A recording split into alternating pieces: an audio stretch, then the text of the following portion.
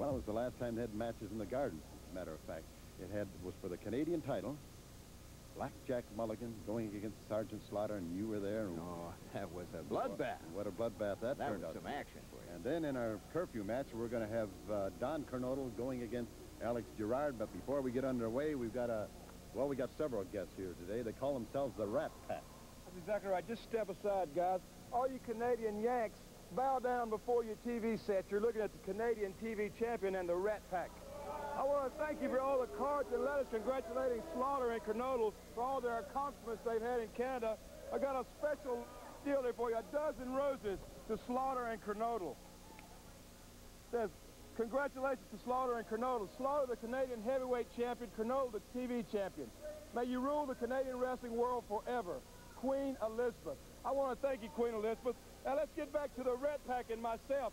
As you look around the studio here, you don't see Mike Rotundo anywhere. Anywhere. And you know why? Because we had a little scheme a few weeks ago, the Red Pack and I.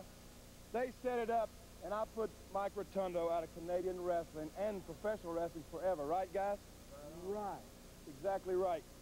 The Rat Pack, Kernodle, Slaughter. Thank you one more time, Queen. This is awful nice of you. Rat Pack, anybody got anything to say about our accomplishments we've had so far? And now for the action, up to the ring, and Norm.